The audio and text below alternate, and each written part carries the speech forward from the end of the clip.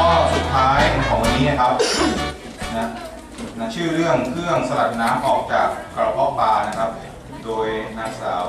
จิตรวดีนะครับ มีราศีนะครับ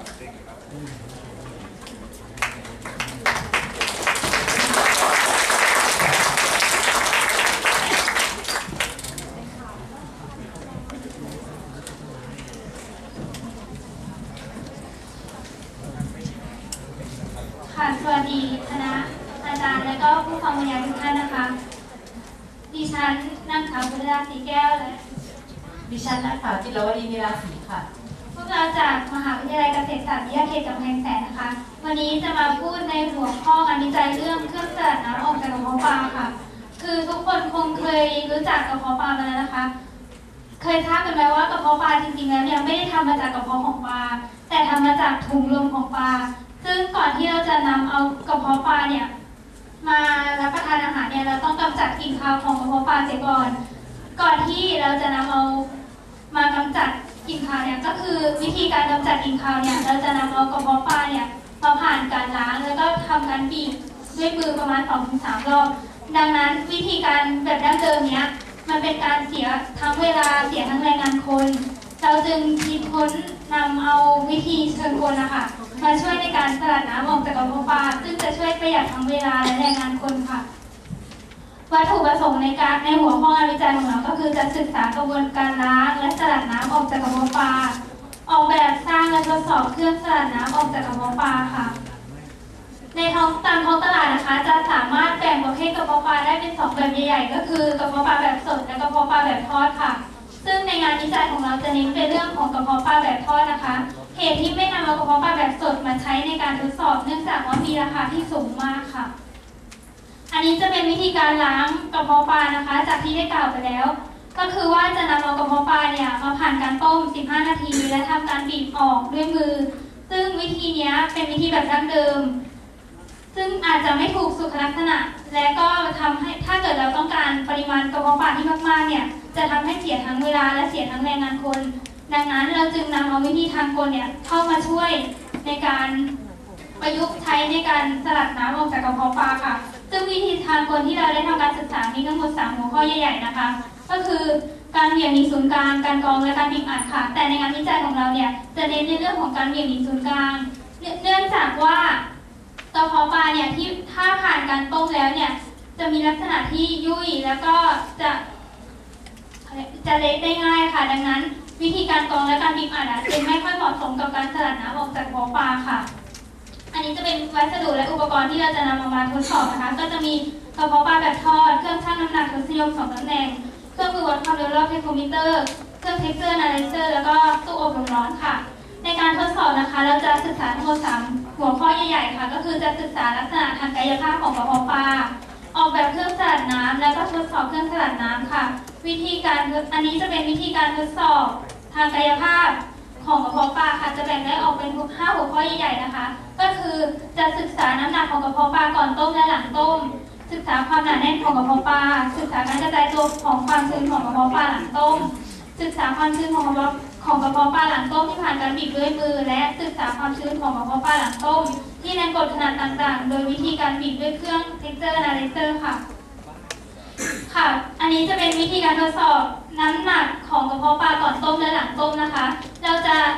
เราทดสอบอันนี้ไปเพื่อที่จะได้ดูความสัมพันธ์ว่าน้ำหนักก่อนต้มและหลังต้มเนี่ยมีความสัมพันธ์กันอย่างไร โดยวิธีการทดสอบเนี่ยเราจะเอาน้ำหนักก่อนต้มมาชั่งน้ำหนัก แล้วก็จดบันทึกผลส่วนในรูปนะคะ จะเป็น กระเพาะปลาหลังต้มค่ะ แล้วก็นำมาชั่งน้ำหนัก แล้วก็นำมาบันทึกผลเช่นเดียวกันค่ะ ต่อไปจะเป็นความการศึกษาความหนาแน่นของกระเพาะปลานะคะ จะทำการทดสอบโดยนำเอากระเพาะปลาชิ้นใหญ่รูปทรงใดๆเนี่ยมาวัดปริมาตร และดูความสัมพันธ์จากมวลส่วนด้วยปริมาตรค่ะ จะได้จะจะสามารถหาค่าความหนาแน่นของกระเพาะปลาได้ค่ะ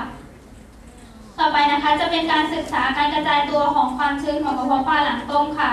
ซึ่งเราจะศึกษาไปเพื่อที่จะได้ดูว่ากระเพาะปลาหนึ่งชิ้นเนี่ย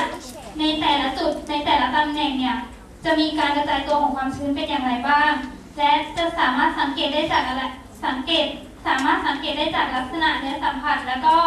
ความชุ่มน้ำของกระเพาะปลาค่ะ โดยวิธีทดสอบเนี่ยเราจะนำเอากระเพาะปลาที่ผ่านการต้มแล้วเนี่ยมาแบ่งตำแหน่ง แล้วก็ทำการวัดความชื้นด้วยตู้อบลมร้อนค่ะ อันนี้เป็นการศึกษาความชื้นของกระเพาะปลาหลังต้มที่ผ่านการบีบด้วยมือนะคะ วิธีทดสอบก็คือจะนำเอากระเพาะปลาที่ผ่านการต้มแล้วเนี่ยนำมาบีบด้วยมือ แล้วก็เมื่อผ่านการบีบด้วยมือแล้วเนี่ยก็จะนำมาวัดความชื้นค่ะ ต่อไปนะคะจะเป็นการศึกษาความชื้นของกระเพาะปลาหลังต้มที่แรงกดขนาดต่างๆ โดยวิธีการบีบอัดด้วยเครื่อง texture analyzer ค่ะ ก็คือจะนำเอากระเพาะปลาที่ต้มแล้วเนี่ยนำมาวัด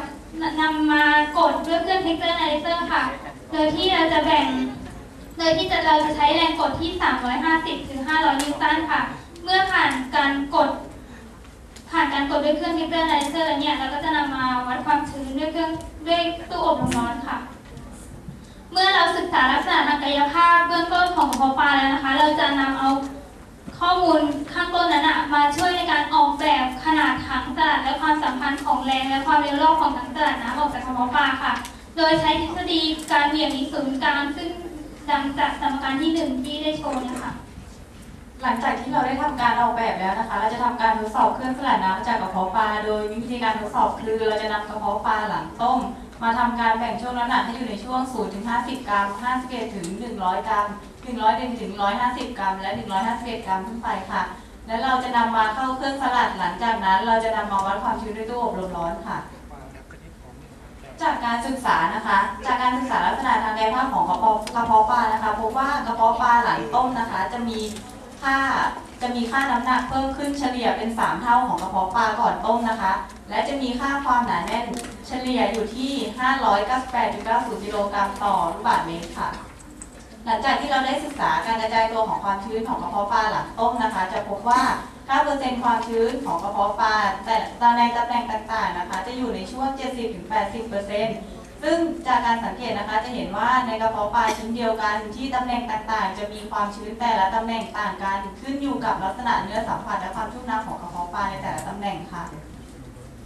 จากการศึกษาความชื้นของกระเพาะปลาหลังต้มที่ผ่านการบีบด้วยมือนะคะ พบว่า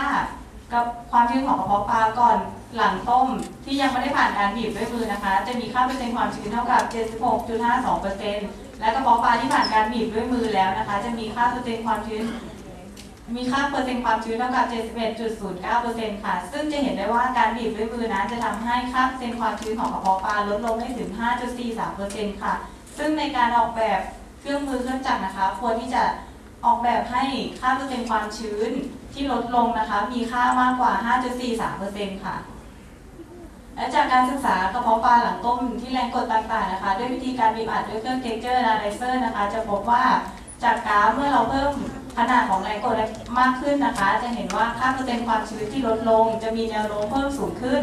แต่จากการทดลองนะคะ เราได้ศึกษาที่เราได้ทำการทดสอบที่ 500 นิวตันพบว่าไม่สามารถทำการทดสอบได้เนื่องจากพอทำการกดลงไปแล้วเนื้อกระเพาะปลานั้นเละไม่เป็นชิ้น นี่ก็เป็นอีกเหตุผลหนึ่งนะคะ ที่เราไม่เลือกใช้การแยกเชิงกลด้วยวิธีการบีบอัดค่ะ และจากที่เราได้ทำการทดลองผ่านมานะคะ จากการบีบด้วยมือ จะทำให้ความชื้นลดลงถึง 5.43%ดังนั้น จากกราฟจะเห็นได้ว่า เราจะต้องใช้แรงอยู่ในเราจะต้องใช้แรงอย่างน้อยประมาณ 410 นิวตันนะคะ ในการสลัดน้ำออกจากกระเพาะปลาค่ะ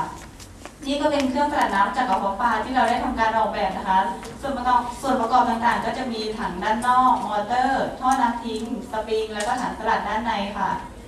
หลังจากที่เราได้ทำการออกแบบแล้วนะคะ เราจะทำการออกแบบความเร็วรอบของเครื่องสลัด โดยตารางนี้นะคะ จะเป็นตารางแสดงตัวอย่างความสัมพันธ์ของแรง ที่ได้จากการคำนวณกับความเร็วรอบต่างๆนะคะ ซึ่งจะเห็นว่าเมื่อค่าความเร็วรอบมีค่าเพิ่มขึ้น แรงที่ได้จากการคำนวณจะมีค่าเพิ่มขึ้นด้วยนะคะ แต่จากการที่เราได้ทำการศึกษาการกดด้วยเครื่อง texture analyzer พบว่าเราจะต้องใช้แรงอย่างน้อย อย่างน้อยประมาณ 410 นิวตันนะคะ ดังนั้นเราจึงเลือกใช้ความเร็วรอบตั้งแต่ 800 รอบต่อนาทีขึ้นไปในการสลัดน้ำจากกระเพาะปลาค่ะ หลังจากที่เราได้ทำการทดสอบหลังจากที่เราได้ทำการออกแบบเครื่องสลัดน้ำจากกระเพาะปลาแล้วนะคะ เราก็จะทำการทดสอบเครื่องสลัดน้ำจากกระเพาะปลาโดย แรงที่เราคำนวณได้จากจากช่วงน้ำหนักต่างๆของกระเพาะปลานี้นะคะ จากตารางจะเห็นว่า เมื่อน้ำหนักของกระเพาะปลา มีค่าเพิ่มขึ้นนะคะ แรงที่คำนวณได้ก็จะมีค่าเพิ่มขึ้นตามไปด้วย แต่ถ้าเราสังเกตจากที่ช่วงน้ำหนัก0ถึง50 กรัมนะคะ จะเห็นว่า ค่าแรงที่เราคำนวณได้นั้นไม่ถึง 410 นิวตัน ซึ่งอาจจะเป็นอะซึ่งอาจจะทำให้ไม่สามารถทำเราทำไม่สามารถทำการสลัดได้ตามวัตถุประสงค์ที่ต้องการนะคะ ดังนั้นเราจึงได้ศึกษาระยะเวลาในการสลัดเพิ่มขึ้นมาค่ะ จากแผนภูมินะคะเราจะเมื่อเราพิจารณาระยะเวลาในการสลัดที่ 1 นาที 2 นาที และ 3 นาทีนะคะ จะเห็นว่าที่ช่วงน้ำที่ช่วงน้ำหนักเดียวกันจะมีค่า เปอร์เซ็นต์ความชื้นที่ลดลงเฉลี่ยนั้นเพิ่มขึ้น และถ้าเราพิจารณาที่ช่วงน้ำหนัก เวลาระยะเวลาในการสลัดที่1ที่ 1 นาทีนะคะ จะเห็นว่าเมื่อน้ำหนักของกระเพาะปลาเพิ่มขึ้นทำให้ทำให้แรงที่ใช้ในการสลัดมีค่าเพิ่มขึ้น ดังนั้นส่งผลให้ค่าเปอร์เซ็นต์ความชื้นเฉลี่ยที่ลดลงมีแนวโน้มเพิ่มสูงขึ้นด้วยค่ะ จากการศึกษานะคะสรุปผลได้ว่าน้ำหนักของกระเพาะปลาหลังต้มนะคะ จะมีค่าเฉลี่ยเป็น 3 เท่าของกระเพาะปลาก่อนต้มและ ค่าความหนาแน่นจะมีค่าเฉลี่ยอยู่ที่ 598.90 กิโลกรัมต่อลูกบาศก์เมตร การบีบน้ำออกจากกระเพาะปลาด้วยมือนะคะ จะสามารถช่วยลดความชื้นของกระเพาะปลาลงได้ถึง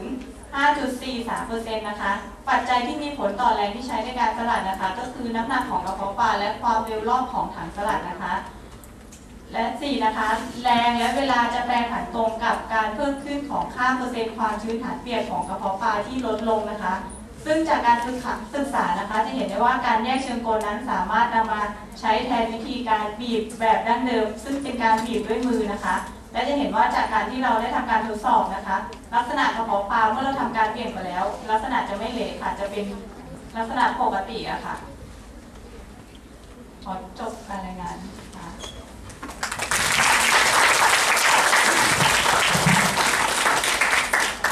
คำถาม มีคำถามไหมครับ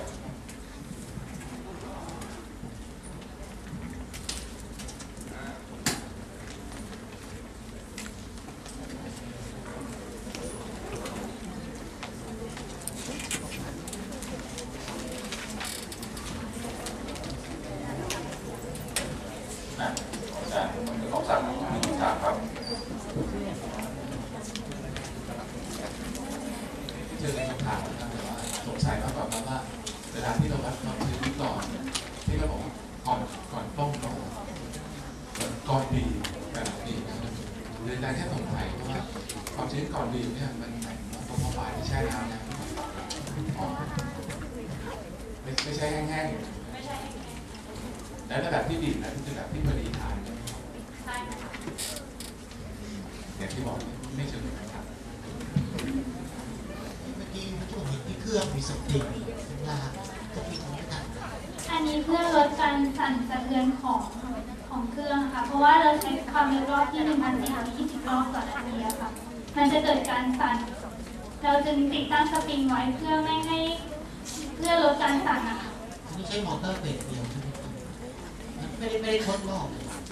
อันนี้ไม่ได้ทดลองค่ะคือต่อต่อมอเตอร์ตรงกัต่อบตรงเลยค่ะ